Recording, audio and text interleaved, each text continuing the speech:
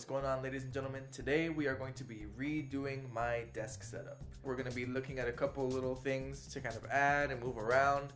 One of those little things, or not so little things, is my new ultra wide monitor from Gigabyte. This thing is going to be a beauty.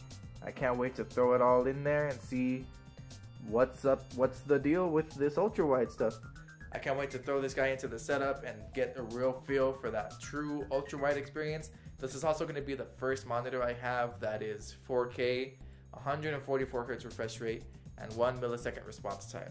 So that is going to help gaming so much. Maybe I won't suck as bad. We'll see. I probably still will. So let's go ahead and start with the box itself. Let's check out the monitor. So as always, we're gonna do this in the most ridiculous way possible. this is a big ass box. It's holding a big ass monitor. Let's go ahead and take it out real quick. Struggles for days. Okay. This is going horribly. Woohoo! It wouldn't be one of these unboxing videos if I didn't throw the thing, right? And yeah, here's the beauty. Holy sh! Woo! He's got some weight. Ultra wide.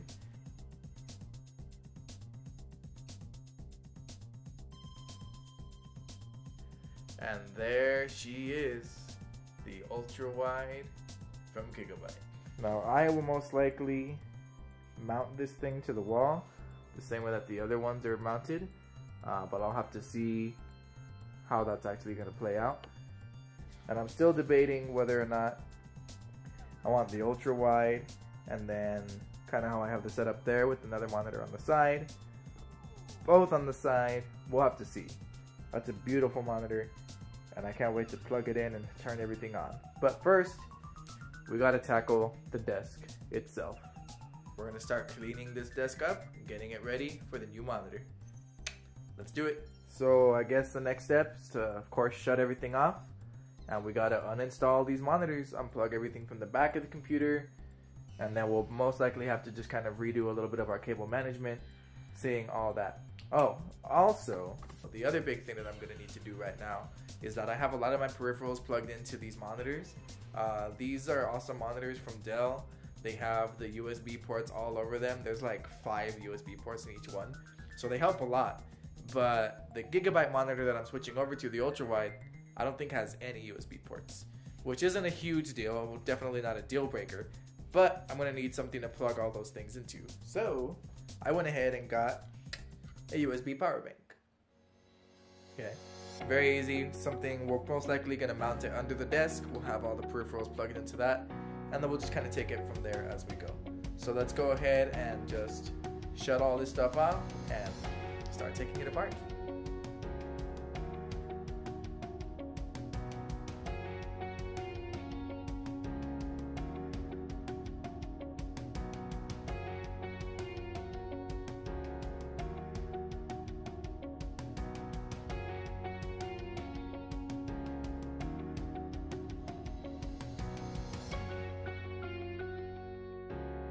So this is where the old monitor mounts were.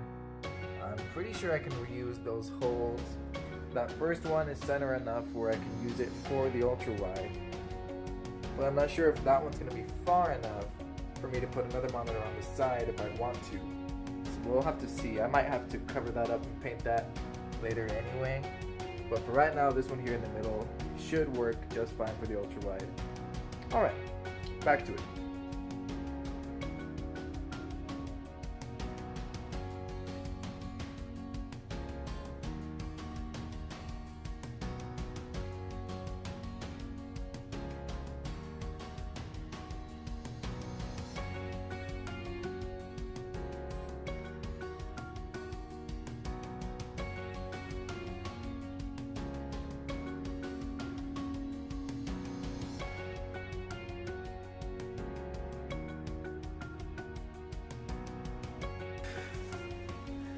I hate cable management. I hate it.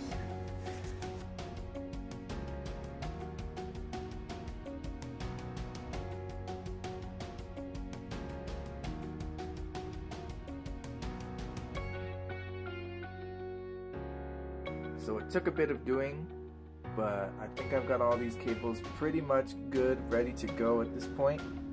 Everything is tidy as it can be for now. Uh, I'll most likely staple some of these loose ones here just to make sure that they stay up. But yeah, not bad. Let's keep her going.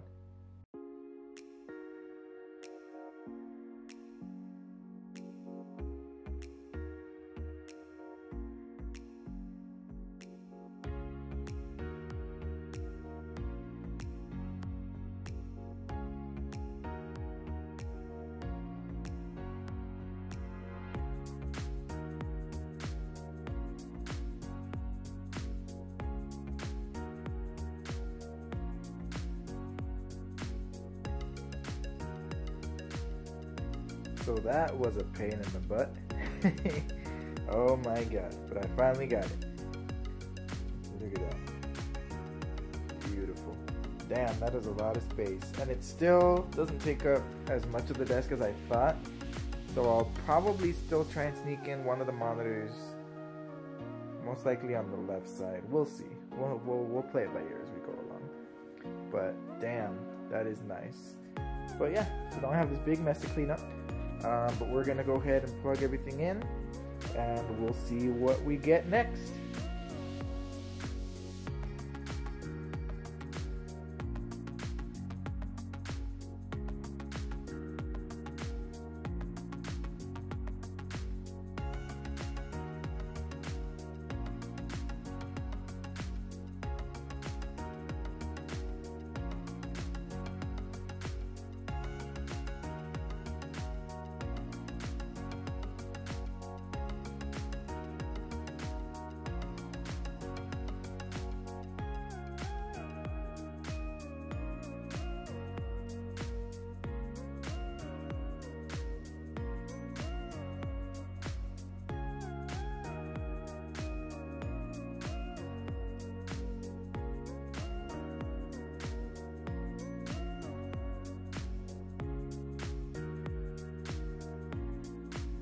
We've got both monitors on now. I've got the ultra wide and then the 25 incher right there. I'm looking at it and it kind of makes me want to get another 25 incher and put her on the other side. We'll see. That might be overkill, but I mean, that's, that's kind of the only way I do at this point. So, with all that craziness out of the way, after that last little bit of cable management, the finishing touch is going to be to throw in these guys here these are some hexagon lights from Cololight, and they're gonna make a nice little addition right above the setup to kind of give it that finishing touch.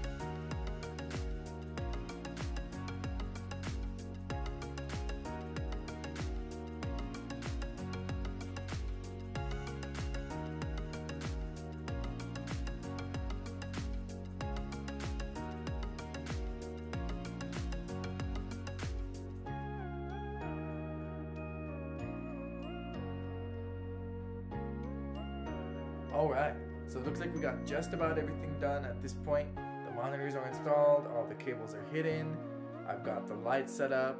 We're going to turn everything on here in just a little bit, but there's one last thing we need to do.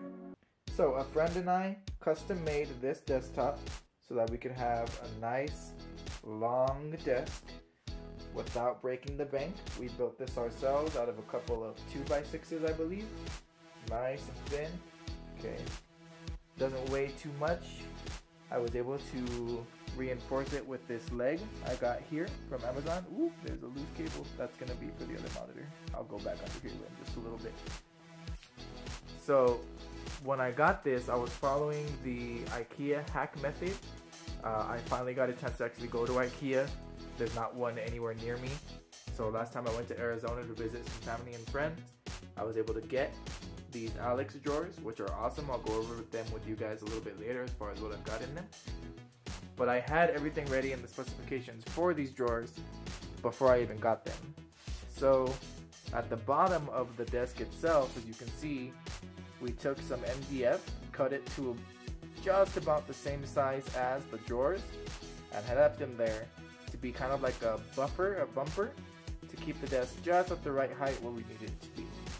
Now, the thing that I was going to do when I first put this whole thing together but never got around to was that I'm actually going to drill from the inside of the drawer into the MDF to secure the entire desk to the Alex drawers. Now what that's going to do is it's going to provide one more thing of stability for the entire desk.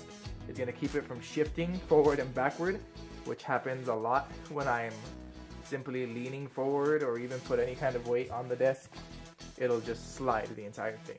So we don't want that. I need everything here in one place.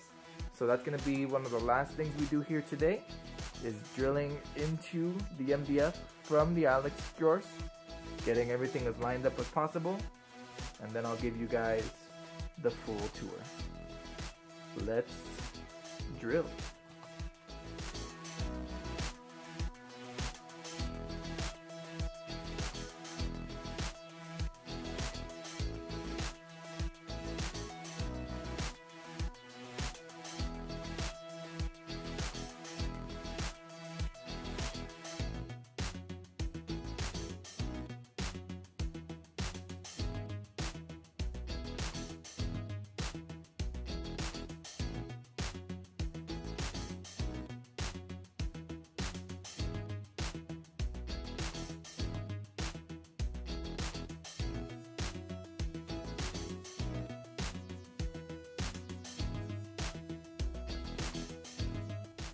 Alrighty, ladies and germs, that just about does it. So everything is set up the way it should be. Everything's cleaned. All the cables are managed. The floor is vacuumed. Beautiful. The Alex drawers are now perfectly secure to the rest of the desk. I don't have to worry about the entire thing shifting or moving if I put any kind of weight on it. Glorious. We're just gonna add a couple little finishing touches. The first thing we wanna note, to get those seals of approval, I already see it's off. Let's get this bad boy aligned. There you go. That already looks much better. We try and get that symmetry. We'll get Ed's approval. And then our little nod to Mr. Random Frank P. Every setup needs a little bit of green. Bam. Let's turn her on and let's see what she's got.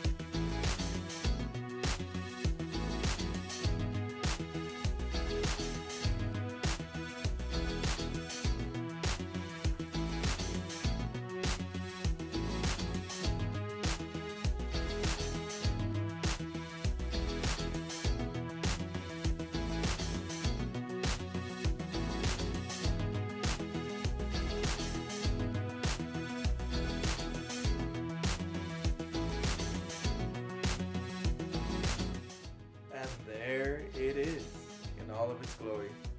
God, this was a long, long way to end the night, but well worth it. Guys, as the battery is starting to die on this camera, I'm gonna go ahead and start wrapping things up now. I appreciate you all coming along on this journey with me. It was a lot of fun, a lot of headaches. We got it to work, and that's what's important. Until next time, later.